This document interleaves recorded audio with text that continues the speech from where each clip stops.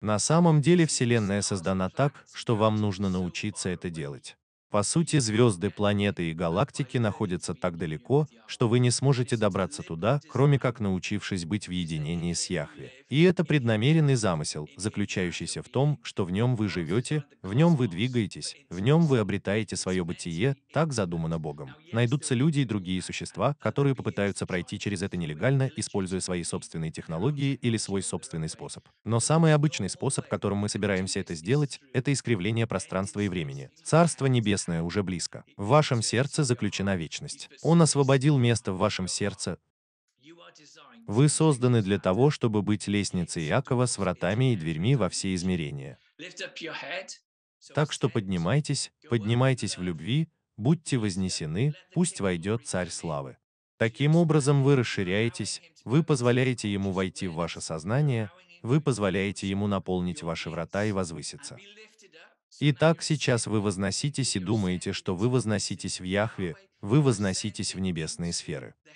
Здесь сказано, что да придет Царь Славы, Господь, могущественный в победе и сражении. И именно здесь вы начинаете видеть силу грядущего века и славу грядущего века, когда вы проявляетесь на небесах. Сейчас наша молитва должна звучать так.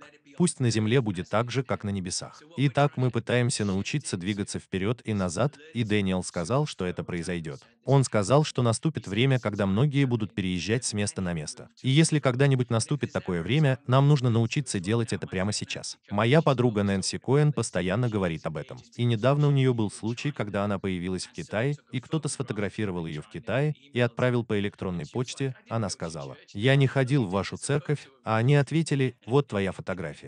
Чтобы вы знали, Бог хочет делать вещи, которые действительно потрясают нас, чтобы в Царстве Божьем не было никаких ограничений. Когда мы начинаем думать о небесных вещах так, как этого хочет от нас Бог. Хорошо, духовная транспортировка – это мгновенное или быстрое перемещение из одного места в другое в пространстве или во времени. Поскольку это то, что вы должны понять вместе с Эйнштейном, вы не можете мыслить пространство без времени. Например, если вы сейчас объедете весь мир и окажетесь в другой стране, время будет другим. Если вы отправитесь на Марс, время будет другим. Если вы отправитесь на небеса, один двор будет находиться в одном времени, другой в другом, и там будут разные времена. Он делает все прекрасным в свое время. Так что вы должны осознать, что вы путешественник во времени, на самом деле это настоящий научный факт, и вы можете прочитать об этом в книге «Интеллект сердца». Они обнаружили, что ваше сердце знает будущее еще до того, как оно произойдет. Если они измерят вариабельность сердечного ритма и когерентность вашего сердца, и они покажут вам изображение на компьютере, и у них будут соответствующие данные, ваше сердце раньше времени поймет, счастливое это изображение или печальное. Ваше сердце чувствует, как сквозь время проникает в будущее. Он вложил в ваше сердце всю вечность. Итак, ваш дух, обратите внимание на это, хотя он сконцентрирован сегодня, он также, подобно золотой нити, протянутый сквозь пространство и время. Таким образом, вы постоянно ощущаете колебания, и они обнаружили это в человеческой расе. Мы знаем, когда происходят важные события. Мы все чувствуем колебания во времени. Мы так устроены, потому что мы космический вид. Царство Небесное, которое включает в себя весь космос, находится внутри вас. Поэтому Поэтому мы были созданы так, чтобы быть свободными от земли и времени. Но когда Адам и Ева совершили грехопадение, они пали не только морально, но и утратили способность осознавать измерения. Они выпали из-за расширения. Иисус пришел, чтобы восстановить то, что было утрачено. Так вот, Он пришел, чтобы восстановить их технологию телепортации. Иисус пришел, чтобы восстановить их высшее сознание. Иисус пришел, чтобы восстановить космическое сознание. Иисус пришел, чтобы восстановить жизнь и бессмертие. Евангелие гласит, что Он восстанавливает то, что было. Он видит мир, который растворен во Христе. Иисус — это все во всем, и вы в Нем, а Он в вас. Подумайте об этом, вы в нем, а он в вас. И Павел сказал вот что. Те, кто соединен с Господом, являются одним духом с Ним. Так куда же вы можете уйти от Его присутствия? Но куда я могу уйти от вашего присутствия? Потому что в некотором смысле именно в это верили все мистики. Бог — это океан, а мы подобны чаше, наполненной Иисусом. Когда вы соединяетесь с Ним в единстве, вы становитесь единым целым с океаном. Да, это похоже на волны, мы все похожи на волны, но мы являемся частью этого единого тела, единого целого. Прямо сейчас я говорю о физике телепортации. Телепортация– это не просто духовная вещь. Хорошо поймите это. Именно так работает Вселенная. Так что позвольте мне поделиться с вами экспериментом. Они стреляли фотонами в стену. Тогда они могли бы стрелять и без стены. Они обнаружили эту невероятную вещь. Вы готовы к этому? Они обнаружили, что частицы, электроны и прочие элементарные частицы, некоторые из них могут по собственному желанию телепортироваться сквозь стену. Они не просто пройдут сквозь нее, они выйдут из нее и попадут на экран, испытанный экран раньше других частиц света. Другими словами, они не мчались на перегонки с другими источниками света, они проскакивали пространство-время. И они снова увидели, что материя, из которой мы состоим, иногда телепортируется. Просто мы так устроены. Мы созданы сами по себе, и если посмотреть на это на квантовом уровне, то вся Вселенная находится в квантовом движении. Я знаю, что они очень стараются с ракетами и Тесла, но все, что они сделали, это полетели на Луну. Мы еще даже не побывали на Марсе.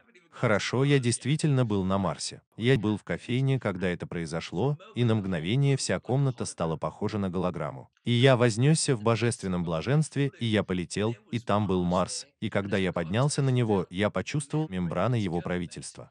Я почувствовал его время, я почувствовал его правительство, я почувствовал его мандат, и это на вкус так отличалось от земного, и я был там, вовлекая его. И я мог видеть, как время движется взад и вперед, и оно издавало такой шум, как будто я вовлекал его, и Господь Иисус забирает меня, я прошел сквозь атмосферу. И в конце концов сел и почувствовал, как это происходит на скале, и я просто посмотрел на этот огромный каньон и просто вдохнул его дух. И я был поражен до глубины души. Вы знаете, я видел так много подобных вещей за эти годы, и это странно, как вы можете видеть, как это происходит, но не понимать этого. Как будто ваша голова не может этого постичь, но именно здесь мы должны перестать жить в своей голове, и я уже не так часто здесь живу. Рэйчел скажет вам, что это правда, я больше живу в союзе с моим сердцем, и теперь все кажется совсем по-другому.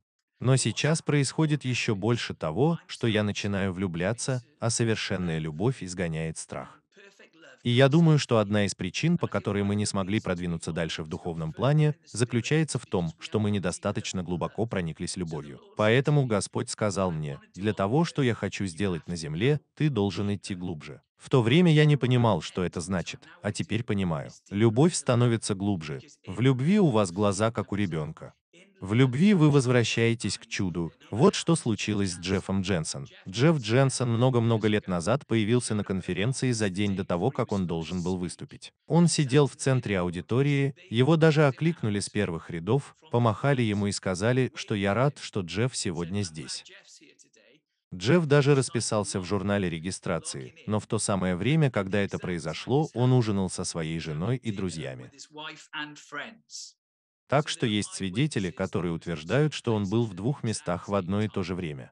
Теперь это случилось с Майклом Ван Клинманом. Он отправился на собрание Бенни Хинна в духе и присутствовал на нем, пока был дома.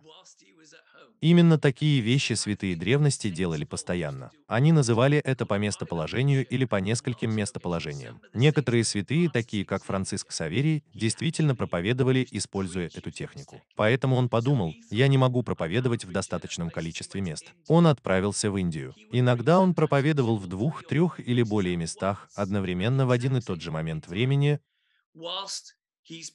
Такого рода вещи случаются, и в то время в этом не было ничего странного, ребята. Я знаю, что у вас на уме. А теперь выбросьте это из головы и проникните в свое сердце. В глубине души вы знаете, что являетесь многонациональным существом. Кто является основой для этого? Сам Иисус.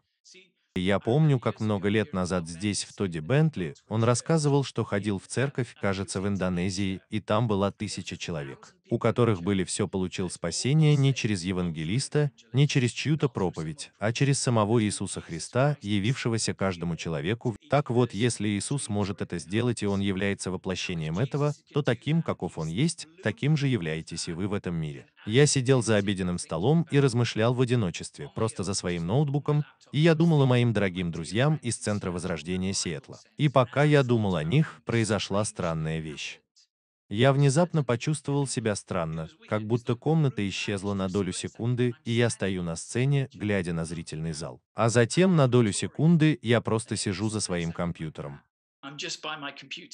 Я внезапно получаю текстовое сообщение от Дарина примерно через пять-десять минут. Дарин говорит, ты только что появился на воскресной службе. И я был так смущен. Я подумал, о боже. И я сказал, прости, Даррен, я не хотел этого делать. Я думал о вас, ребята, и о том, как сильно я вас люблю. Но вот что самое классное, ребята, это то, что делает это событие особенным. Человек, который видел меня, был одним из родственников Дарина, и она никогда раньше не видела ничего подобного духу. Так что это был огромный подарок для меня. Так вот, она увидела меня стоящим на сцене, и это действительно благословило меня. Так что даже если Бог сделал это только ради нее, я действительно взволнован этим. Иногда мне хотелось побывать в Австралии и Шотландии, и это случалось. Так что в любви и желании есть что-то особенное. Я заметил, что когда я люблю людей, меня словно тянет к ним не только душой, но и телом. Это странная вещь. Все начинается с вашего духа, а затем, как мне кажется, наше тело последует за нашим духом. Я чувствую, что именно это показал мне Господь. Кто-то, кто сказал, что это произойдет, был Фрэнсис Меткалф. Если вы читали ее книгу и книгу Джеймса Мелони «Дама из золота и подсвечника», она сказала, что Бог показал, что вознесение, чем мы и занимаемся, вознесение или восторг. Это начало того, что ваше тело воспринимается как нечто большее. Ну что же, она сказала, что все началось именно так, и именно это показал мне Господь. Пока вы были в группах Вознесения, пока вы учились Вознесению, вы отвязывались от пространства времени, вы отвязывались от Земли, вы отвязывались от гравиметрического поля. Вы приходили в Сион, учились вместе.